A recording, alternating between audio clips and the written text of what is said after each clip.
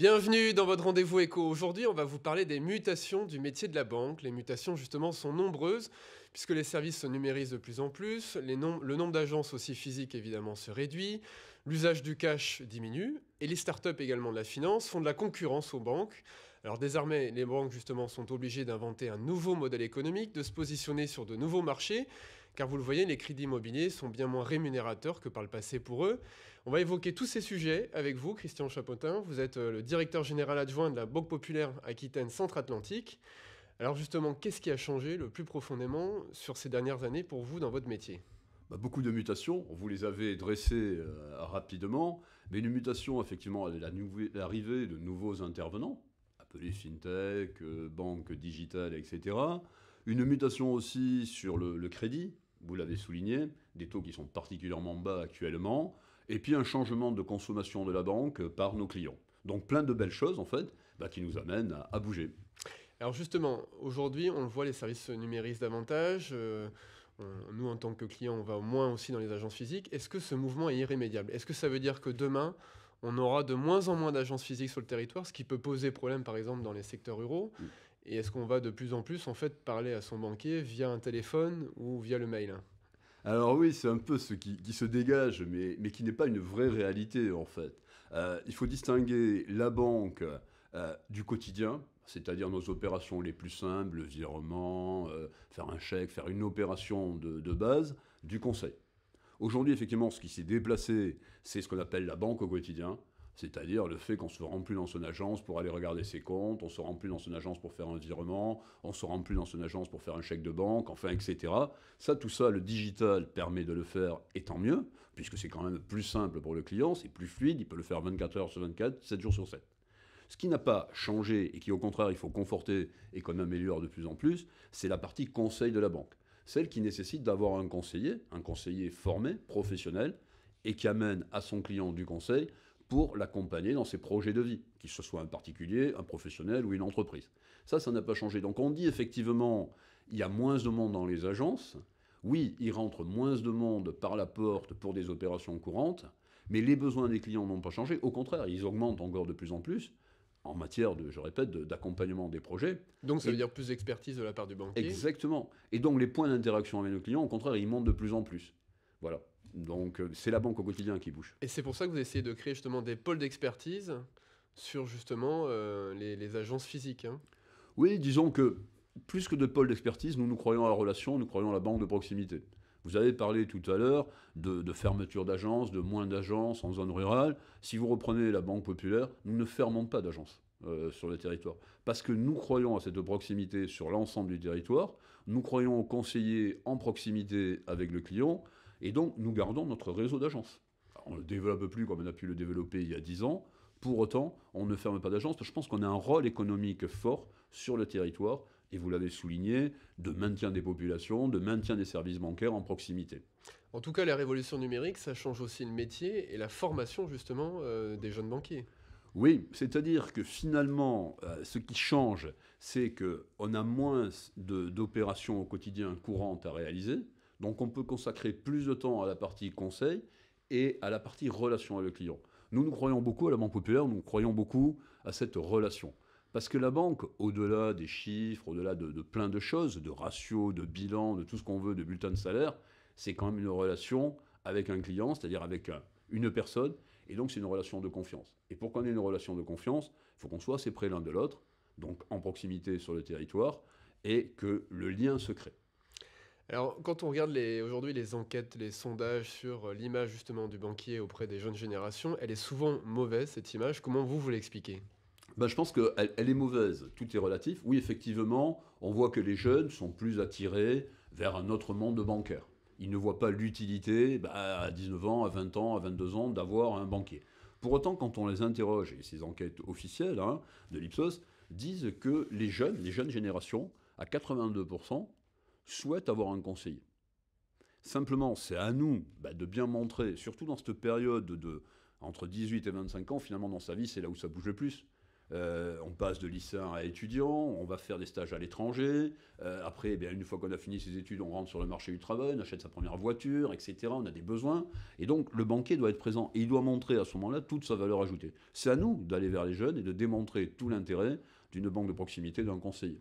Et de ne pas arrêter la banque à ce qu'on appelle la banque au quotidien, c'est les opérations courantes. Alors ces préjugés justement qu'ont souvent les jeunes sur la banque, ça, impacte aussi euh, vos recrutements. Parfois vous avez du mal à attirer euh, les jeunes générations. Comment vous essayez aujourd'hui de changer cette image justement du métier de la banque? Si vous voulez, vous l'avez souligné, effectivement les métiers de la banque sont moins attractifs qu'ils n'ont pu l'être. Nous ce qu'on essaye de faire c'est, si vous voulez, je pense qu'au-delà de faire le métier de banquier, ce qu'on essaye dans notre entreprise, dans la Banque Populaire, c'est de trouver ce qui, nous, ce qui nous rassemble en fait, ce qui nous unit Bien sûr, c'est de faire du, business bancaire, mais c'est pas que ça. Aujourd'hui, ce qui nous rassemble, ce qui nous, qui nous, unit à l'intérieur de l'entreprise, c'est l'idée que la banque de proximité a une vraie valeur, euh, que le rôle du conseiller est un vrai rôle de conseiller et non pas de commercial qui pousse des produits depuis une, depuis une plateforme. Ça existe dans le domaine bancaire ou depuis un site internet. Nous, c'est la proximité. Et donc, ce rôle de conseil, ce sens à ce métier, parce qu'on fait un beau métier. Euh, ma conviction, je le fais depuis 34 ans, c'est que c'est un très beau métier. Pourquoi c'est un très beau métier? Parce qu'on est dans les projets de vie des clients. On accompagne les projets de vie. C'est-à-dire, ben, on finance de l'immobilier, on finance de la création d'entreprise, on finance de la création d'emplois, on finance de, l'investissement économique. Et il n'y a pas plus beau que de faire ça sur son territoire, au plus près, des, au plus près de nos clients. Là, sur 2019, pour avoir une idée, pour les téléspectateurs qui nous écoutent, euh, vous allez recruter combien de personnes? Alors, par an, à peu près, on recrute entre 70 et 100 personnes. Voilà, ça c'est un recrutement brut. Les effectifs dans le secteur bancaire n'évoluent pas. En aide, nous restons stables. Et en termes de profil, quels sont les profils que vous recherchez? Ben, si je vous disais qu'on recherche des profils qui sont capables d'avoir de l'empathie, de comprendre nos clients, euh, de savoir créer du relationnel avec eux, et en même temps à partir de ça, parce que c'est très clé, c'est de bien comprendre. On voit bien toutes les difficultés, tout ce qui se passe actuellement, etc. Il faut cette compréhension-là, et derrière, il faut un conseiller qui est un professionnel pour amener la meilleure solution aux besoins du client. En termes de formation En termes de formation, on est sur Bac plus 3 et au-delà. Voilà. Bon, le message est passé. On revient sur les révolutions justement du, métier. Euh, on le voit aussi, on utilise de moins en moins en fait le, cash, les espèces au quotidien. Est-ce que ça veut dire que demain, il y aura aussi de moins en moins de distributeurs? Alors c'est vrai que c'est un sujet. Euh, c'est un vrai sujet pour moi, ça, parce qu'effectivement, il y, a moins d'espèces. Donc, nos distributeurs, ben, effectivement, euh, c'est des gros investissements. Pour une, pour une, pour une entreprise bancaire, c'est très gros investissements, cette partie-là. Oui, c'est un vrai coût. Hein. Et donc, effectivement, nous, nous les laissons dans les zones rurales, etc., même si ça, si ça a un coût. Euh, pour autant, ben, les espèces diminuant, forcément, le part des automates, on le voit, est en train de diminuer. Mais ce qui est intéressant aussi, et c'est à ce à quoi il faut penser, c'est qu'aujourd'hui, si vous voulez, toutes les nouvelles banques qui se créent, n'ont pas d'automates. D'accord? Elles donnent des cartes bancaires gratuites, mais les automates, c'est les automates du système bancaire dit classique. C'est ce qui fait notamment que vous n'êtes pas trop inquiet avec la concurrence des, banques 100% en ligne. C'est pas, c'est pas inquiet. Moi, je suis pour la concurrence, je crois l'avoir déjà dit. Euh, la concurrence, elle a du, elle a du bon parce qu'elle vous oblige aussi vous-même à, vous renouveler. Euh, elle a du bon parce qu'elle offre du choix aux, clients. Je crois que c'est important d'avoir du choix aux clients. Euh, simplement, si vous voulez, de temps en temps, sur les conditions d'exercice du, du, métier, c'est pas tout à fait les mêmes. Nous, il est normal, et on continue à le faire, de mettre des automates à disposition de, nos, clients, et, mais en même temps, ces automates sont utilisés par de nouveaux intervenants qui n'investissent aucun euro sur le territoire, puis c'est des plateformes qui sont souvent loin, voire même pas en France, aucun euro sur le territoire, et les clients sont quand même contents d'utiliser nos automates à nous, gratuitement. Et d'ailleurs, les clients en général qui sont clients de ces banques-là en ligne sont souvent clients aussi d'une banque plus traditionnelle. Oui, souvent. Souvent, ils sont, c'est un peu, un peu le, choix. Euh, ils sont attirés par ça. Euh, il ne faut pas se tromper. Nous, ce qu'on veut faire, et je vous l'ai dit tout à l'heure, euh, on est une banque régionale. La Banque Populaire, c'est une banque régionale très ancrée sur le, territoire de la Nouvelle-Aquitaine, qui reste en proximité de, de ses clients. Et c'est des banques universelles. C'est-à-dire, nous offrons l'ensemble des services à l'ensemble des clientèles. Les banques digitales, si vous regardez bien aujourd'hui qui s'adresse aux banques digitales, c'est plutôt des populations aisées, c'est plutôt des technophiles, et c'est plutôt des gens qui ont un accès à Internet. Parce que ces banques-là, c'est leur cible, c'est leur segment de, clientèle, et en tout état de cause, euh, elles font les opérations, se disent gratuites, mais quand vous regardez bien les conditions, c'est à partir d'un certain nombre d'opérations, de domiciliation de revenus, enfin, etc. Et donc, moi, je considère qu'elles sont quand même assez élitistes. Nous, dans les banques populaires ancrées sur le territoire, bah, on est ouvert à tous les clients, y compris aux clientèles fragiles. Et la concurrence des startups, justement, de ce qu'on appelle les fintech. Comment aujourd'hui ça impacte euh, votre marché, vos parts de marché? Et derrière aussi, quels sont les nouveaux services que vous allez mettre en, œuvre justement pour essayer de répondre aux, nouveaux besoins justement de la population qui sont exprimés euh, bah, à travers euh, l'émergence de ces startups aujourd'hui? Bah, Si vous voulez, là, si on prend la partie des fintech, moi je trouve ça très intéressant. c'est l'apparition des fintech qui est quand même assez récente. Pourquoi? Bah, Parce que ça nous permet à nous d'avoir une recherche et développement dans notre métier qui est externalisé, qu'on n'avait pas. On n'a pas ces compétences-là, on n'est pas issu de ce monde-là. Et donc, ben, ces fintech aujourd'hui, finalement, elles nous proposent d'améliorer nos prestations, d'améliorer nos services, d'améliorer les parcours clients, et on travaille très bien avec. Euh, nous, deux, exemples, deux exemples simples. Euh, par exemple, on a été en capacité d'offrir aujourd'hui à nos clients professionnels un programme de fidélisation pour être à armes égales avec la grande distribution et les grandes enseignes, parce que tout ça, ils ne peuvent pas le faire, et on l'a développé avec une fintech. Euh, un autre exemple, aujourd'hui je pense qu'on doit re-rentrer, je vous l'ai dit, encore plus qu'avant dans le conseil, mais tout ce qui est digital, tout ce qui est euh, data nous aide à mieux faire du conseil. On a travaillé des parcours d'entretien sur tablette par exemple avec euh, des startups qui nous ont aidés à construire ça et à la plus grande satisfaction de nos clients et de nos conseillers.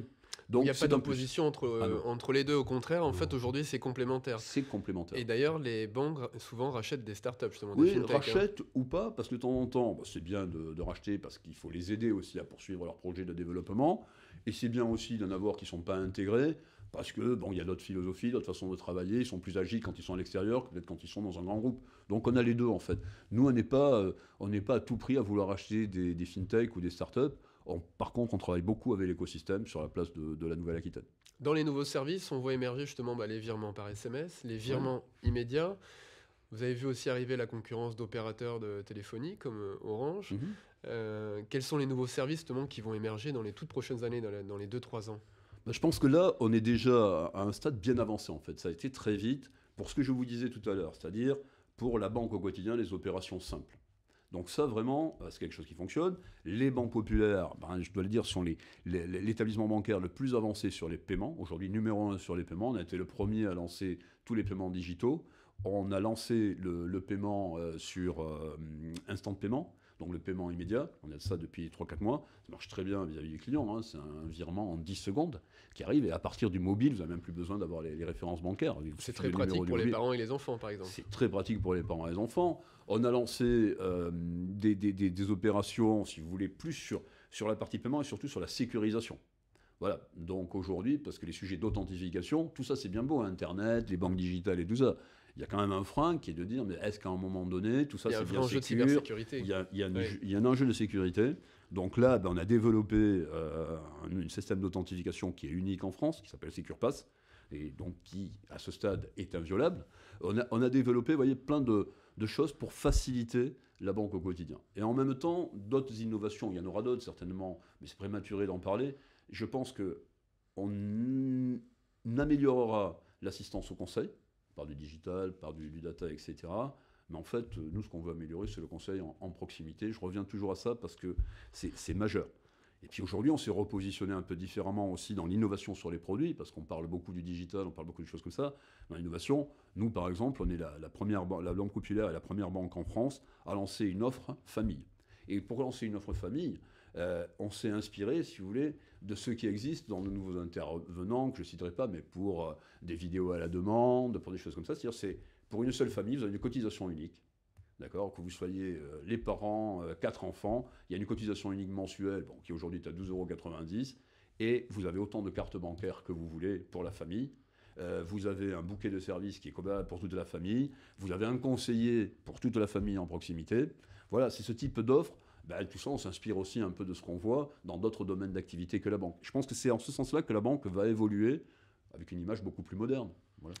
En termes d'impact euh, aujourd'hui économique sur le territoire, une banque comme justement la Banque Populaire Aquitaine Centre-Atlantique, c'est combien de salariés et quel est l'impact euh, du fait des crédits immobiliers, des crédits à la consommation que vous distribuez sur l'économie régionale? Alors, si vous voulez, la Banque Populaire Aquitaine Centre-Atlantique, c'est 2000 salariés, c'est 215 agences. On couvre euh, quasiment tout le territoire de la, Nouvelle-Aquitaine. Ben, l'impact, forcément, il est, fort. D'abord, on est la première banque des entreprises, euh, sur les professionnels aussi. Donc, on a un, rôle majeur dans le financement. On accompagne beaucoup de projets. On accompagne plus de 20 000 projets par an de, professionnels destinés à créer de l'emploi, destinés à créer des entreprises, destinés à se développer à l'exportation.